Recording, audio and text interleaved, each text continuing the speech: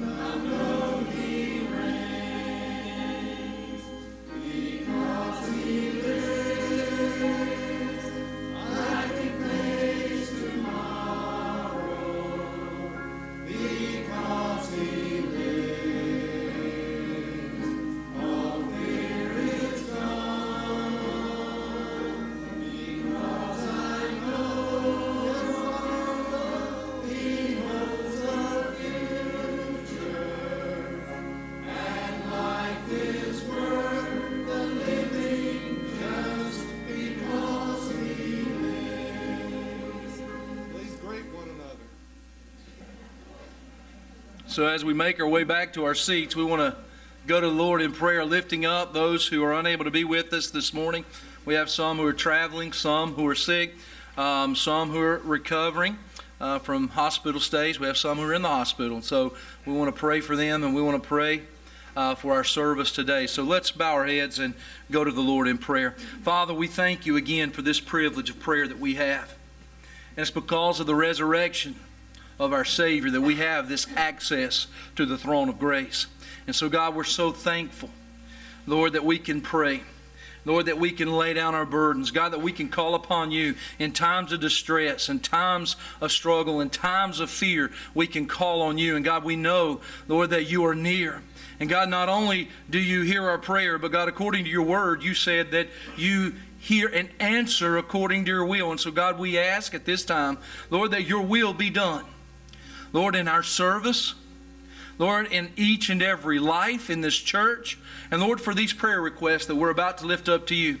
God, we lift up our prayer list to you. Lord, those who are sick, unable to be here, those who are traveling, those who are in the hospital, Lord, those who are in the rest homes and shut in their home, Lord, unable to be here, we pray for them. We lift them up. We ask you have your hand upon each one of them. And Lord, we pray, Lord, for uh, our nation. Lord, we lift up the leaders of our nation. Lord, we pray that your will be done for, through them. And God, we pray for our future leaders. Lord, we pray for our nation. Lord, the leaders on a federal level, the state level, Lord, and even the local level. And God, we pray that you'll minister through them. But Lord, most of all, we pray if they don't know you, that you'll put someone in their path that might share the gospel with them, that they might be forever changed. And God, we pray for the church. Lord, we pray for the church across the world, the church across America. Lord, we pray that you'll use the church, Lord, to be a light in this dark world. Lord, evil is all around us, and Lord, we, we need the light. So, God, I pray that you'll empower and equip the church. And Lord, I pray for Providence Baptist Church. Lord, I pray that you'll use us.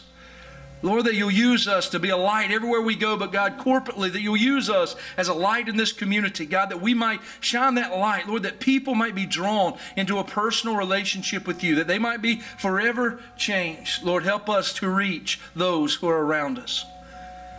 And God, we pray, Lord, for our community. Lord, we lift them up to you. Lord, it's so clear. There's so many around, Lord, who need the Lord, who are struggling in different areas of their life. God, we pray for them. We lift them up to you. Lord, we pray for the family. Lord, that you'll have your hand upon the families. And Lord, we pray, Lord, for our missionaries who are overseas, who are here in North America. Lord, that you'll bless and minister through them. Lord, that you'll do the work that you've called them to do. They take the gospel to places and to people who've never heard. God, we pray for our service this morning be lifted up, be exalted by everything that's done, everything that's said, everything that's saying. Lord, be glorified. And Lord, we pray again that if there's one here today who's lost, we pray that today be the day of salvation. Lord, that your message will penetrate their heart. Lord, that they might be convicted and turn their life over to you. Bless this time together. Meet with us, be with us. We ask all these things in Jesus' name. Amen amen. After our uh, first hymn, I had asked you to do a tag, My Savior Lives, and then I promptly forgot to do it.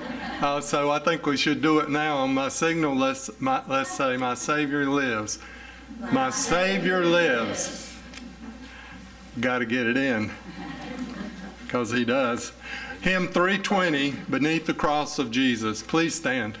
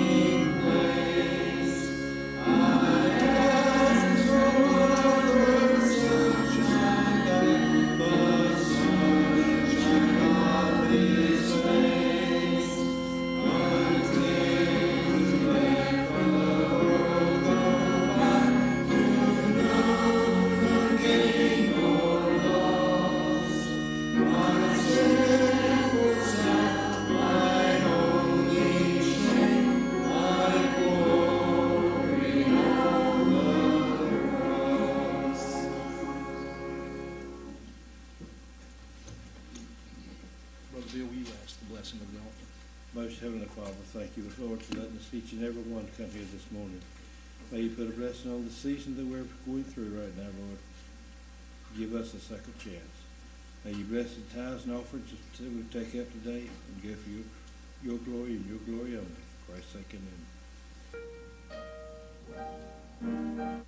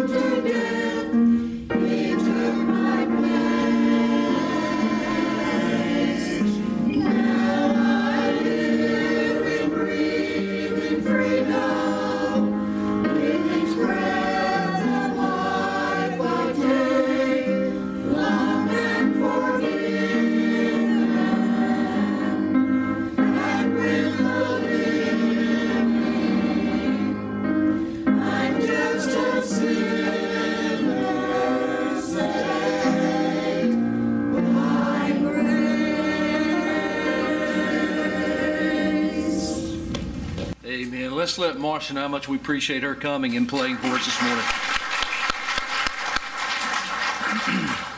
At this time, I want to have Sonia and Haley come up here with me. We're going to do a couple of songs for you. Uh, one of them, we want you guys to sing with us. All right? If, how, many, how many of you are amazed this morning at what God's done or is doing in your life? Amen. We ought to sing about it, right? So I want to ask you to stand and I want you to sing with us. This is going to be on the screen. It's going to be a video, so you can just watch us uh, stand now. it's not Simon Says, so. But let's sing. Let's sing like you really mean it, like you really are amazed. All right? Shannon, go ahead.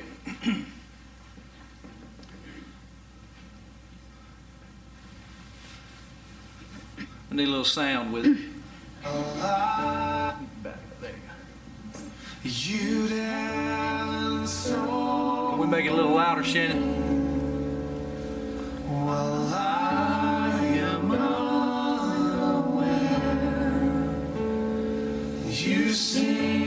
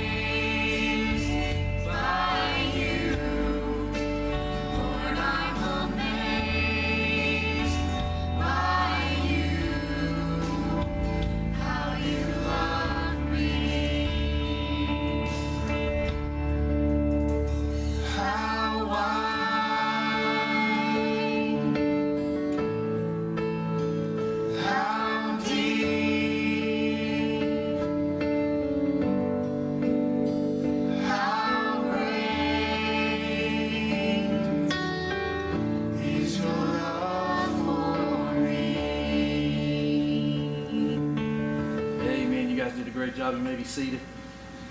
I am amazed at God's love for us without a doubt.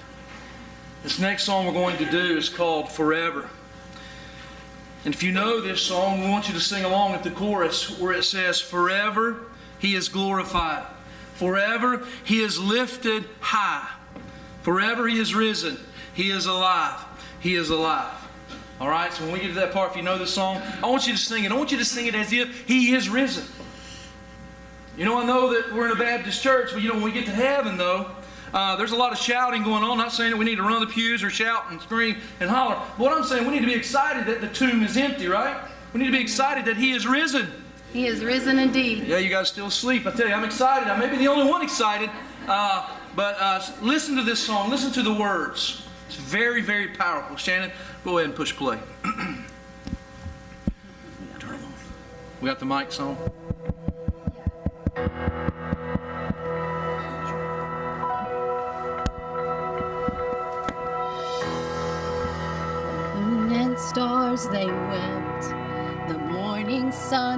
Dead. The Savior of the world was fallen. His body on the cross, His blood poured out for us. The weight of every curse upon Him.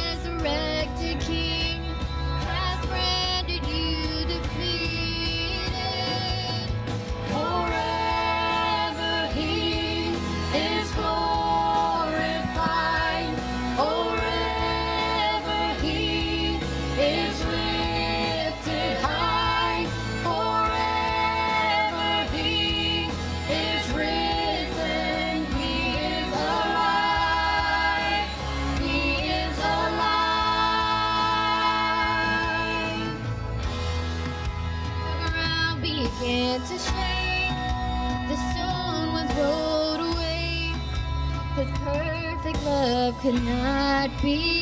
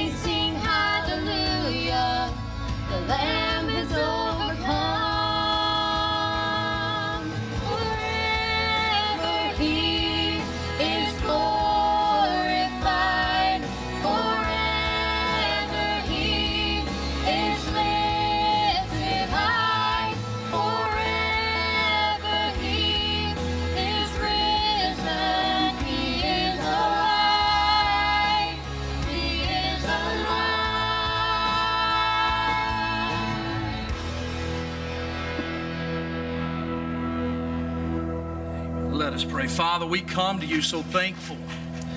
God, for your presence, God, for your presence here. For if it wasn't for the resurrection, God, we wouldn't even be here this morning. There'd be no need to be here. And So, God, we thank you for the empty tomb. God, we thank you for the resurrection. We thank you that you have defeated death, hell, and the grave. And there's not one person here this morning who has to leave this place destined for hell. For the message has been presented. The gospel has been made known. The King has risen. Jesus is alive, and we thank you for that, God. We worship you this morning for that. God, let it penetrate our hearts. Let us get excited about what you have done for us. God, we are wretched sinners, wicked to the core, but God, you chose to save us, and we thank you and we praise you this morning. God, we pray that as your word goes forth, that it'll touch hearts, that it'll change lives. God, that we realize who you are and where you're seated. God, that we might live every day like you are the King and like you it is Easter. So, God, we thank you and we praise you. We give you thanks. For us in Jesus' name we pray. Amen and amen. God is good. Amen. He is risen. Amen. John chapter 21. John chapter 21. I don't know if you've caught on yet, but I get a little excited around Easter time. Uh, for if it wasn't for Easter, uh, we wouldn't have church. Church. Uh, John 21, 1 through 14. Anyone here amazed at God? Just raise your hand. Amen. I'm amazed at God. I tell you, when I, when I begin to look at myself, the person that I was and even the person that I am today, I'm amazed that God would even consider giving His Son, much less give His Son for me. But He had done just that, much, much less call me to proclaim His gospel. And so this morning, I am just overwhelmed with amazement for God. And so thank God for His mercy. Thank God for His grace. Amen. We've gathered together this morning. Maybe I'm too excited and you're still asleep. I don't know. I don't know why um, we get a little amen. I don't know that. I don't know. But I'm excited this morning. We gathered here to celebrate, to worship our risen Savior, to celebrate the greatest event in all of history. And as a believer, it ought to thrill you. It ought to thrill you this morning uh, to be here to worship Him and to make Him known to be here and remember and celebrate the resurrection of our Lord and Savior Jesus Christ. I hope that you've already been blessed. I hope that you've already been blessed, maybe by the sunrise service, maybe by the fellowship and breakfast, maybe in Sunday school, hopefully by the singing and the time we've already had together. Hopefully, you've already been blessed. Because I believe if we was to close the service right now and go on home, we could all say that it's been good to be in the house of the Lord because we are indeed blessed and we sing praises to Him. And so I hope that you can say that you are blessed this morning as we celebrate. See, we're blessed because He is risen. We all get that we're here to celebrate the resurrection today. I know that you get that. But my question to you is, is what about tomorrow? What about tomorrow? Jesus, of course, will still be resurrected, right? He's not going to die again. He is eternal. And so tomorrow, Jesus will still be resurrected. He'll still be working in our life, right? Uh, I know I have a lot of work to do. I'm sure that uh, some of you have a lot of work to do in your life as well. But how will you be tomorrow? How will you be tomorrow? What will your attitude be like? What will your mentality be tomorrow when Monday morning rolls around? Will you live like Jesus is alive? Or will you live as if Jesus is still in the grave? This morning, I want to look at an incident in Peter's life following the resurrection of Jesus Christ. Do we have anybody here this morning that can relate to Peter a little bit? Just me? Well, we got one. We got two. There's a couple of us in here. Well, Peter uh, had some great qualities without a doubt. I mean, he was the leader of the disciples, but he had a knack of, of taking his foot and inserting it into his mouth. If you know anything about the Gospels, you know that about Peter. Now, do we have anybody that can relate to Peter? I thought there'd be a few more of those. I've gotten a little bit better about this over time.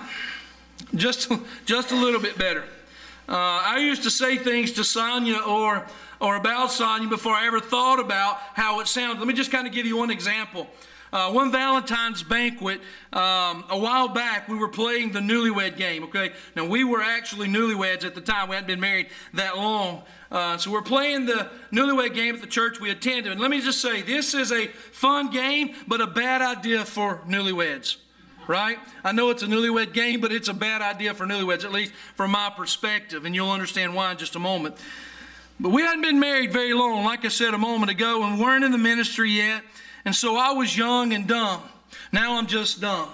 Um, but anyway, one of the questions was this. Bad question. This is it. It says, if there was something you could change about your spouse, what would it be? That is a bad question. Now, Sonia got to answer first, okay? And Sonia, being the wonderful, sweet, innocent wife she is, answered, Nothing. There's nothing I would change about him. He is perfect. Don't ask her now. that list is as long as the Great Wall of China, so uh, she's had time to come up with a few. Uh, but don't ask her now. My answer to that question still haunts me to this day. As a matter of fact, it was just brought up this weekend, my answer to that question some time ago.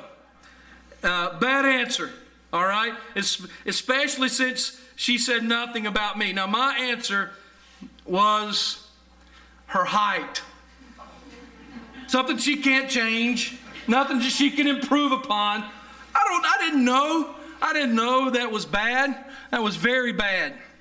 And so I say, that's right, shame on me. I hear that all the time. I tell her now, babe, you're perfect. That ain't what you said 20 years ago. but anyway, that's what, that was what I said. But here, uh, to plead my case, I did not know that we could say nothing, right? I didn't know that. Because nothing is, is not something. And it said, name something. Nothing's not something. So that's my, that's my plead. But anyway, Sonia and I have been together some 20 plus years, and, and that comment still haunts me. But if I would have thought about what to say before saying it or for blurting that out, I would have been far better off. So, needless to say, I can relate to Peter when it comes to saying and, and doing things before thinking. Now, in our passage this morning, uh, we find Peter uh, sometime after seeing Jesus resurrected doing something before he actually thought about it. So he went and did something before putting in a thought uh, to what he was doing. And that's what I want to speak on this morning. So, John chapter 21, verses 1 through 14. If you're there, say amen. amen. All right, let's read what the Apostle John had to write. John chapter 21 verses 1 through 14. And these things, Jesus showed, after these things, Jesus showed himself again to the disciples at the Sea of Tiberias. And in this way he showed himself. Simon Peter, Thomas, called the twin, uh, Nathanael of Cana in Galilee, the sons of Zebedee, and two others of the disciples were together. Simon Peter uh, said to them, I'm going fishing. And they said to him, We're going with you also. And so they went out and immediately got into the boat, and that night they caught nothing. But when the morning had now come, Jesus stood on the shore, yet the disciples did not know it was Jesus. And then Jesus said to them, Children, have you any food? And they answered, No. And he said to them, Cast the net on the right side of the boat, and you will find some. And so they cast and now they were not able to draw it in because of the multitude of fish. Therefore, that disciple whom Jesus loved said to Peter, It is the Lord. Now, when Simon Peter heard that it was the Lord, he put on his outer garment, for he had removed it, and plunged into the sea. But the other disciples came in the little boat, for they were not far from land, about 200 cubits, dragging the net with fish. Then, as soon as they had come to land, they saw a fire of coals there, and fish laid on, and bread. And Jesus said to them, Bring some of the fish which you have caught. And Simon Peter went up and dragged the net to land full of large fish, 153. And although there were so many, the net was not broken. Jesus said to them, Come and eat breakfast. Yet none of the disciples dared ask him, Who are you? knowing that it was the Lord. Jesus then came and took the bread and gave it to them, and likewise the fish. This is now the third time Jesus showed himself to his disciples after he was raised from the dead. Now, one of the first things that I want you to notice about this passage of Scripture uh, was that this was the third time that Jesus had shown himself that he had appeared to his disciples. And so Peter knew that Jesus was alive. All right? He knew that Jesus was alive. But even with that knowledge, even with knowing that Jesus was alive, he did something that we all must avoid. Peter did something that we all must avoid. So, what did Peter do? What did he do that was all that bad? We just read the text. He didn't cuss nobody out, didn't say curse like he did before his resurrection. So, what did he do that was all that bad that we ought to avoid? Well, let's look back at verse 2 and verse 3 again. It says Simon Peter, Thomas called the twin, Nathanael of Cana in Galilee, the sons of Zebedee, which is James and John, and two others of his disciples were together. Simon Peter said to them, I'm going fishing. And they said to him, We're going with you also. And they went out immediately got into the boat, and that night they caught nothing. So what did they do? Peter went back fishing. He went back to fishing. Now that doesn't sound all that bad to us, right? After all, if fishing was a sin, we'd be in trouble. A lot of us would be in trouble. A lot of fishing goes on the people of this church. And so, uh, if it's a sin, we're in trouble. But, but that's not the issue here. It's not the sin of fishing, all right? It's not a sin to fish. But what Peter did was he went back to his old self. Do you see that? He went back to his old self. He went back to doing the things he used to do. Now, if we were to go back to before Peter had an encounter with Jesus, we would see that Peter was a fisherman, right? Luke chapter 5, we see that. Now, what makes this fishing trip, this going fishing so bad, was the fact that Jesus had called Peter to something greater. He'd called Peter to something higher, to be more than a fisherman. As a matter of fact, he told him, I want you to be a fisher of men. Jesus had called Peter to be his disciple, the Messiah's disciple. He, he called Peter uh, to be a man that would impact the world for all time. Not just his world, but the world for all time. Jesus even told Peter before the crucifixion that he would be an integral part to the establishment of the church. And so Jesus had a grand plan for Peter's life, right? You see that? He had a grand plan for Peter's life. But Peter went back to doing what he used to do, to the person he used to be. So, what does that have to do with us? Well, we're here today and we're celebrating the resurrection. And today is a wonderful day. Today is a beautiful day. Even though it's raining and overcast, today is a beautiful day. God is meeting with us. He is meeting with us, and we are blessed. But what about tomorrow?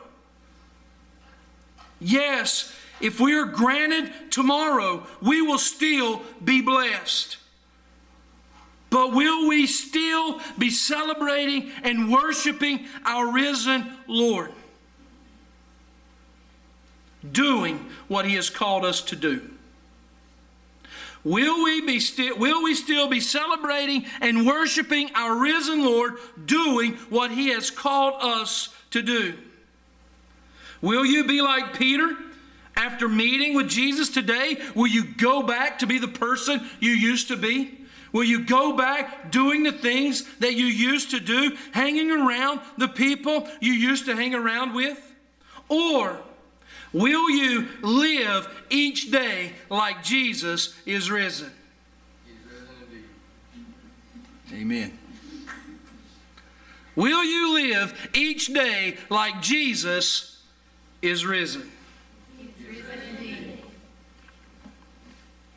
Who here wants to live every day as if Jesus is out of the tomb.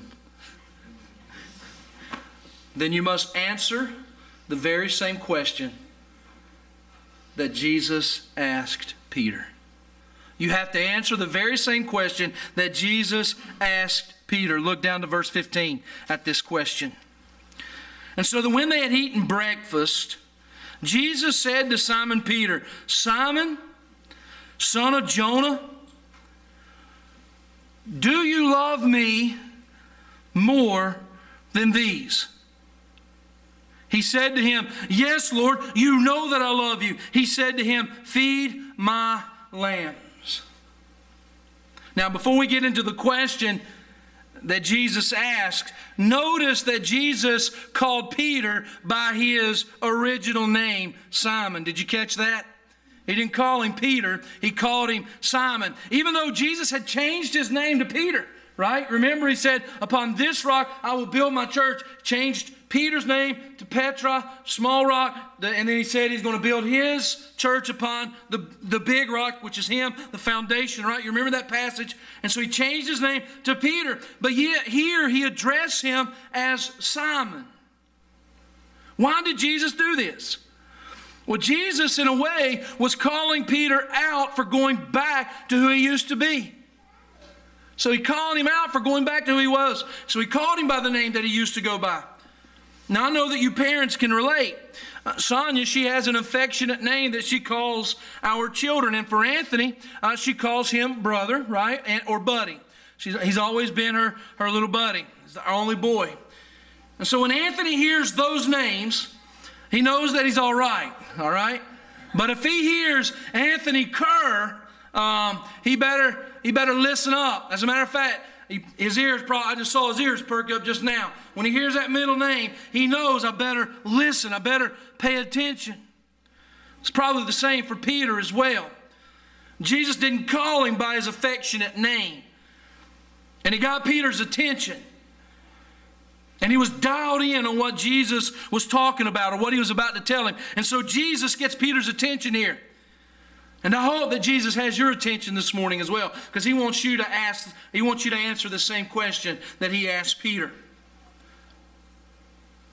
More importantly than what Jesus called him was the question that Jesus asked him. And one that I believe that Jesus is asking us today. So let's look back at verse 15. Let's look at this. Let's look at this question again. Verse 15. And so when they had eaten breakfast, Jesus said to Simon Peter, Simon, son of Jonah, do you love me more than these? Do you love me more than these? One of those open ended questions there, right? It's debatable to what, exactly what Jesus is referring to when he says more than these. Uh, some say that Jesus is basically saying, Do you love me more uh, than the other disciples love me? In other words, he's saying, Peter, do you love me the most? I don't, I don't think that's what Jesus is saying here. All right? It's hard to imagine Jesus comparing our love for him to someone else's love for him. Throughout scriptures, we're told not to compare ourselves to others. As a matter of fact, uh, the Bible says that Jesus is our standard. And we don't compare to the ways of the world and the people of the world, that Jesus is our standard. So I don't think that that's what Jesus is asking him. He's not asking him, Do you love me more than the other disciples love me? I don't think that's what he was saying here. Some say that Jesus was asking Peter if he loved him more than he loved the other disciples. In other words, uh, he asked him, he says, do you, do you love me more than you love these guys, your fishing buddies? Peter, do you love me more than you love your fishing buddies here? It could be that. It may be that. I, I don't know for sure. I don't think that's what Jesus is, is getting at here. When I look at the context of the scripture here, it's about Peter going back fishing to what he was comfortable with, to where he used to be, back to what he knew and what he liked. See, that's the context. So when Jesus asks Peter, Do you love me more than these? What I believe he's referring to is fish. I believe he's referring to fishing. And so he's asking Peter, he said, Peter, do you love me more than you love to fish? Peter, do you love me more than you love fishing? Because what did Peter do after he found out uh, or didn't know what to do or wandering around? He said, Hey, look, I'm bored. I'm going back fishing. And so Jesus saying, Do you love me more than these? More than fishing? More than fish? And so Jesus is saying, Do you love me more than fish or fishing? Do you love me more than being comfortable? Do you love me more than what is familiar? Do you love me more than what you enjoy doing? Do you love me more than these? This is a real eye opener for me. This was a real eye opener for me over the last year or so because I could hear Jesus from this scripture say, Bo, do you love me more than that house at 189 Antelope Drive in Mount Holly, North Carolina? Bo, do you love me more than your hometown of Stanley and your home church of New Life Baptist Church? Do you love me more than you love the comfort of your family? Do you love me more than these. That's what Jesus said to me.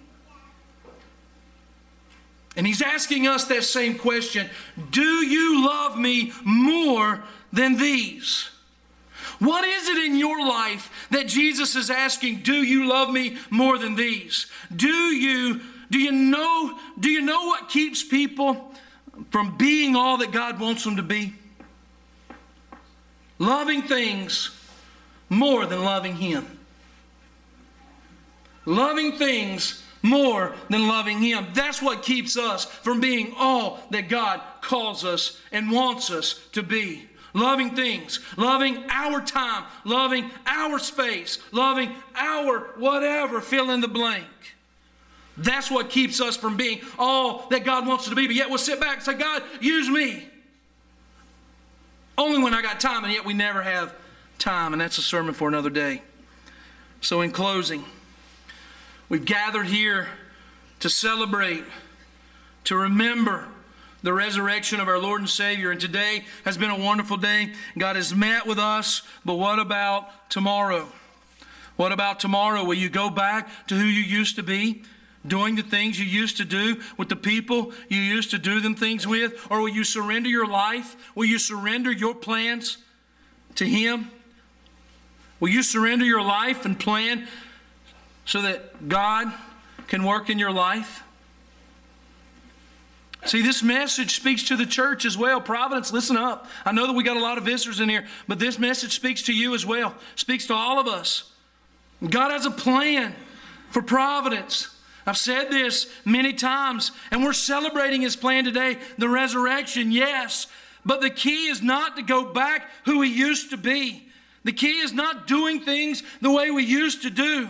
Listen, it's time to love Christ more than tradition. It's time to love Christ more than what's comfortable. It's time to love Christ more than what we enjoy or what we like to do. It's time to love Christ more than these. Isn't that what he called Peter? Now, what he asked Peter?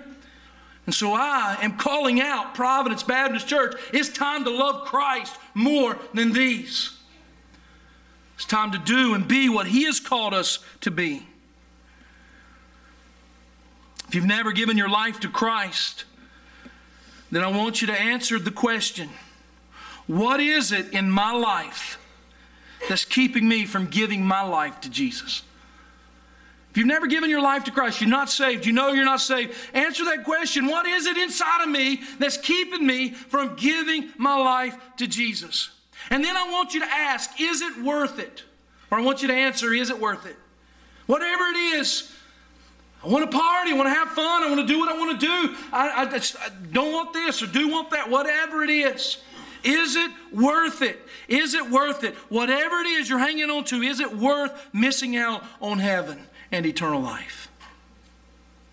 The answer is no. There's nothing on this earth, there's no thing on this earth worth missing out on heaven. I beg you to come and give your life to Christ. Christian, Jesus is asking you this morning as well.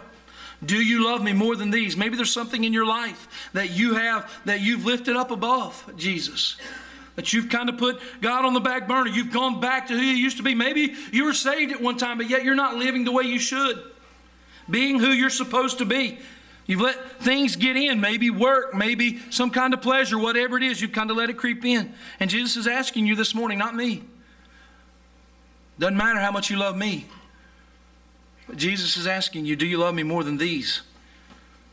The altar will be open for anybody who wants to be saved this morning. The altar will be open for anybody who wants to come and pray. Maybe there's somebody here who needs to lay down their burden. Maybe there's somebody here who needs you need to pray for. The altar's open if you'll come and pray. The altar will be open to come and join our fellowship here at Providence Baptist Church as we try to impact our community. So I ask you to stand. I ask our musicians to come, to Ronnie to come. Father, we thank you and we praise you again for this day. Lord, this Easter day, a day of celebration. Lord, the greatest day, the greatest worship service of the year is today. And God, we thank you for it. And we thank you for your presence. Lord, we thank you for your word. God, we thank you that you are here ministering to us, calling us, Lord, even though we're like Peter, doing things before we think, before we act, or saying things, letting things come in between our relationship with you. God, uh, help us to be like Peter, to, to eventually surrender everything over to you, or that you might do a work in our life and our heart. Lord, help us uh, to be all that you've called us to be. Lord, help us to get rid of those things that are hindering us from being what you've called us to be. Lord, we pray that you'll ease burdens today. Lord, that you'll minister to us in such a mighty way. We thank you and we praise you. For it's in Jesus, Jesus' name we pray. Amen.